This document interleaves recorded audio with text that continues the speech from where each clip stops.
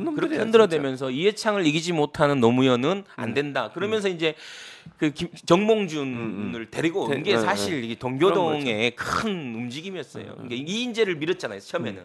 근데 이인재가 이제 예, 경쟁력이 좀 떨어지기도 하고 그 국민 경선이라는 음. 새로운 졌잖아. 방식에서 음, 음. 이인재가 그걸 자기는 분명히 조직 조직 사업에 대해서 이길 수 음, 있겠다 생각했는데 저는 그때 인터넷이 굉장히 큰 역할을 했다고 봐요. 음. 인터넷을 통한 어떤 자발적 지금 얘기하는 이제 개딸이나 음. 이런 적, 적극적 지지층들이 엄청나게 노력을 하는 거죠. 막 손편지 쓰고 막 그랬잖아요. 음. 그리고 그. 당시에 처음으로 인터넷 신문을 시작했던 오마이뉴스의 그렇죠. 역할이 컸어요. 오마이뉴스가 맞습니다. 오마이뉴스가 처음으로 네네. 그건 제가 볼 때 전 세계적으로 가장 아, 처음이에요. 찾아보기 어렵죠. 어려워요. 왜냐면 제가 그때 미국에 있었잖아요. 네, 미국에서도 이런 그 인터넷 오마이 뉴스와 같은 인터넷 신문이 어 이렇게 큰 역할을 하고 그렇게 크게 네. 한게 사례가 돼서 연구 대상이 됐었어요. 맞습니다. 미국에도 없었어요. 맞아요, 맞아요. 그 당시에 인터넷 맞아요. 기반으로 신문을 만들고 맞습니다. 또 시민 기자들이 그 직접 시민 기자들, 참여해서 맞아요. 기사를 쓰고 이런 일은요 미국에도 없었어요. 그런 모델 자체가. 예. 그래서 한국 학생들이 이 오마이뉴스를 가지고 논문을 여러 편을 썼어요. 음, 실제로. 맞아요. 그래서 박사 논문, 뭐 석사 논문,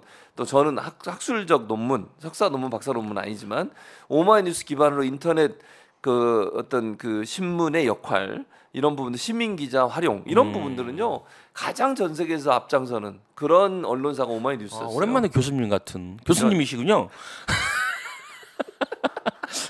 이거 아, 교수님, 보세요. 아, 미디어 교수님 맞으시네. 제가 여기 와서 가- 예? 그때 당시 미국에서 교수할 때 오마이 뉴스 와서 강연도 했다니까요. 아, 이게 10만 이건. 역사적 글로벌한 음. 어, 사건이다. 응. 어, 맞아요. 그래서 전 세계적으로 정말 최초였어요. 저도 오마이뉴스가. 오마이뉴스 기사 거기 시민 기사로 한 세 건인가 썼는데 음. 한 9만 원 정도 지금 남아 있어요.